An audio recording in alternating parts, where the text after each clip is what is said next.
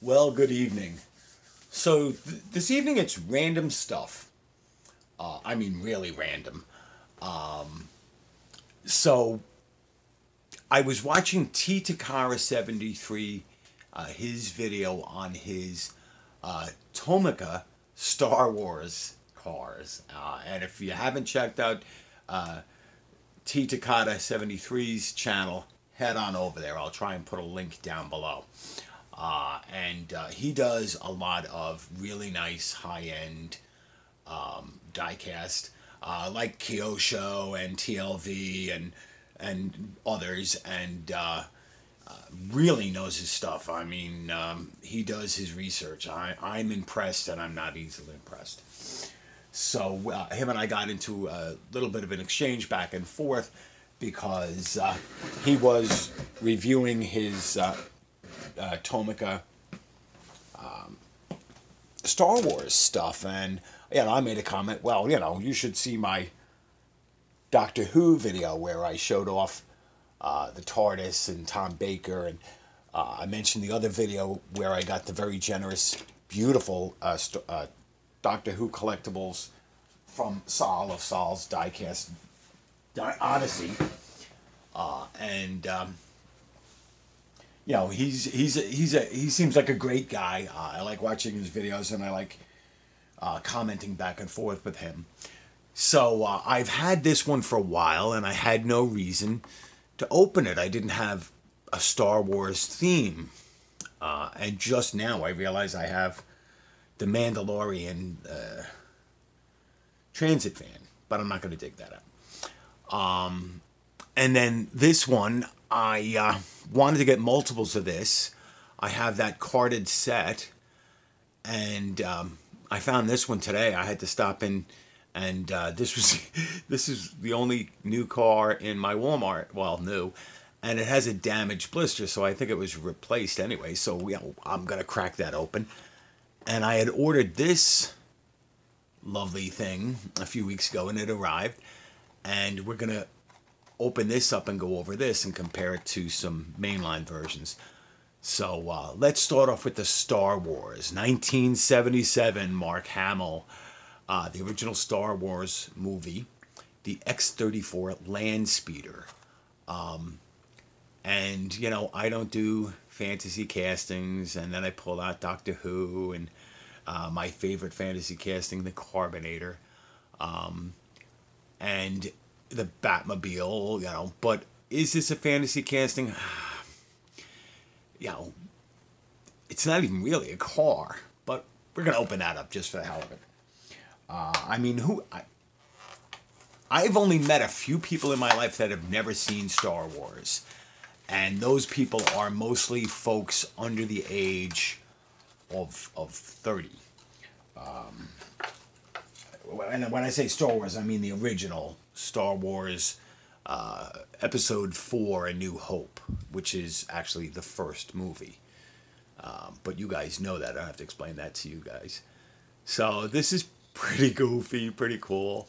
Uh, I just realized as I opened that up, it's too wide probably to fit in any of my normal cases. So your land speeder, uh, Lucasfilm and Lighting, GRX 16. I don't know what GRX 16 is. Copyright 2020, made in Malaysia. Hot Wheels. It's got little tiny wheels, so it'll it'll roll. Maybe not across this mat too well, but it'll, it'll roll. And uh, I think it's hysterical that it has a, a little bit of patina and weathering, you know, like rust and paint chips and stuff. Uh, and uh, looks like the engine cover is missing on one side. Um, this is one of those things. It's strictly nostalgia. You know, this goes along basically with uh, the whole Doctor Who thing. You know, um, I was in, I was in comments. Uh, I've I've had interactions with several people. I mean, Sal uh, is a Doctor Who fan, and uh, a couple other folks are like, oh well, yeah, I saw this, and I, you know, some people know the new Doctor Who. Some people only know Tom Baker.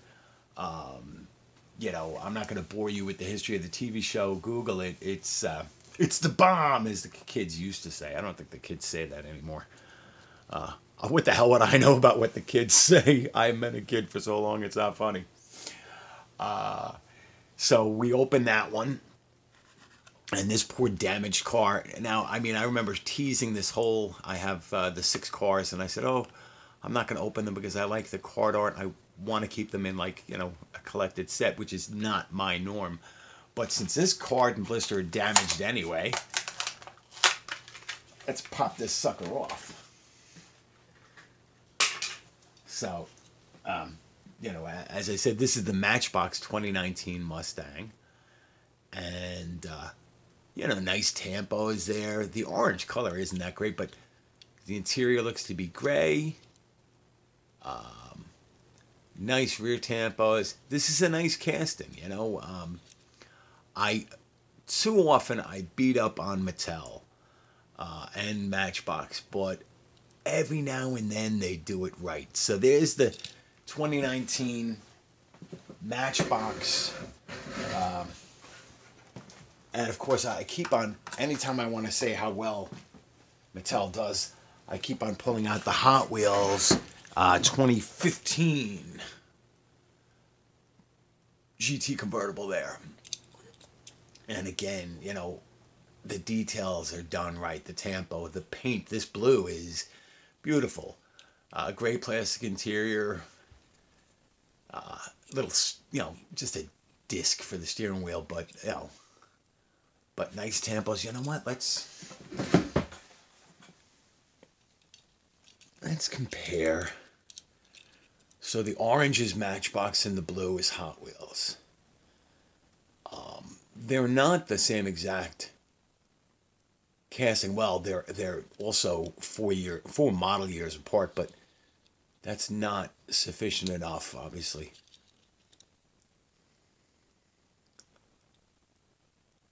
But yeah, I mean, Matchbox did right on this one. They they did they did a good job, and um, I'm glad to have that one off the card.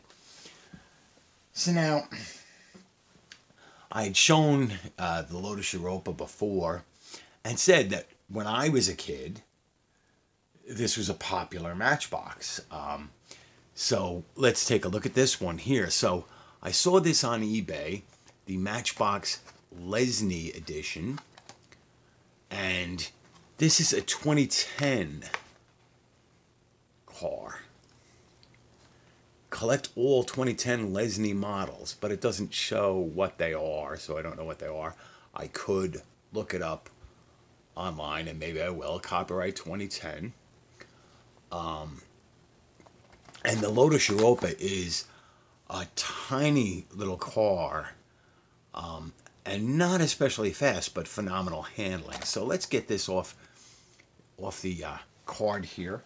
I want to see if I can save the card art.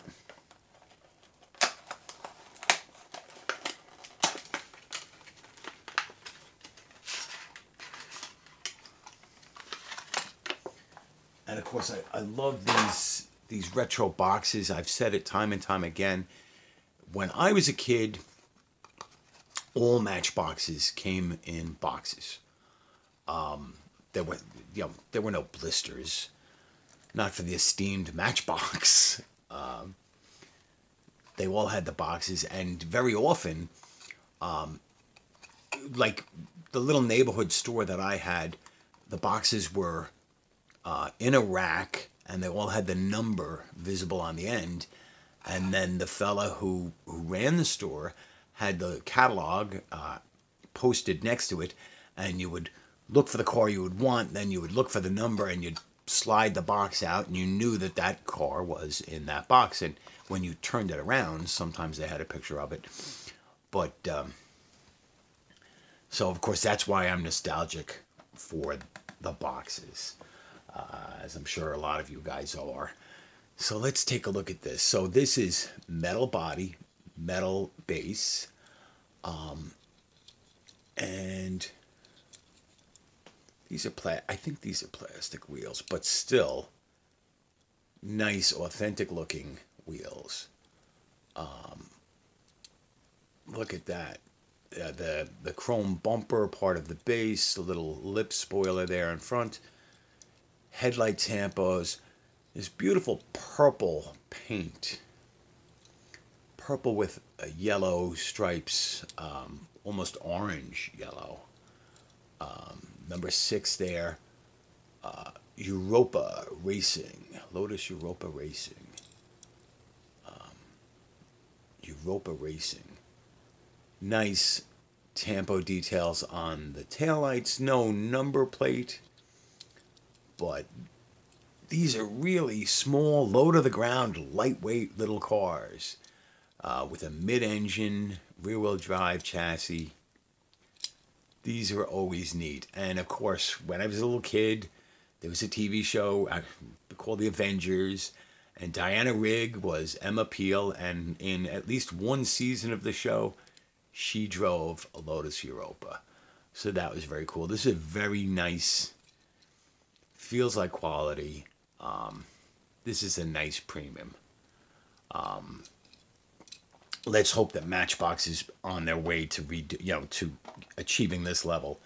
I just saw Lamley's video, and of course, uh, everybody knows that I'm looking for that new Ford Capri, but they're also coming out with a 1979 Chevy Nova.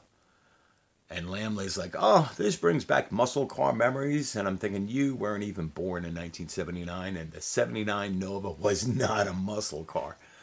But it's a car that I'm nostalgic for because my grandfather had one. So, yeah, you know. Uh, so I have two others of these Lotus Europa, and of course they are from five packs, from Matchbox five packs. So there's this one in this not quite black, dark graphite with gold stripes, not quite the John Player livery, but still nice with the chrome rockers because that's part of the chrome interior.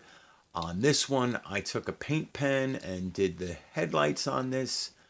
Um, and I took paint pens and did just a little red on the taillights.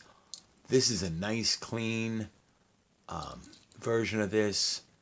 Uh, the chrome interior, you know, we can ignore because it gives us the chrome bumpers and the chrome rocker panels. Um, but this was from a five pack. Unfortunately, I don't remember um, what the name of the five pack was so let's take a quick look. This is a copyright 2008. The first time I guess they re-released this Lotus Europa. Um, Lotus Europa Special 1972, which of course is the same thing here. Copyright 2008. And then most recently, the last five pack I had I had shown the City what is it, the Cafe Cruisers or the or the City Coffee Cruisers 2 set. So this one appears in that one. And this is the yellow with the yellow base. Gray plastic interior gives you the gray plastic rocker panels and bumpers front and back. I have not taken a pen to these. Uh, it looks basically like they all three have the same rims. So that's not too bad. And they're like a black racing rim with a chrome rim around them. And just notice that these two both have number six. If anybody knows the significance of that, please let me know in, in comments. The weight difference. I mean, this this uh, Lesney edition weighs twice uh, what this one does because of the metal base. These are nice. Uh, a little bit of nostalgia. Um, I don't know what these go for normally. I did pay $10 for this. Uh, maybe even $12 with shipping. So it wasn't cheap, but it wasn't it wasn't uh, $100 either. So and you know, uh, Lotus Europas are not common cars, but I have seen them at concours shows. I did see them when I was uh, a small child. Um, so they're not uh, incredibly rare. But so these are all right hand drive models.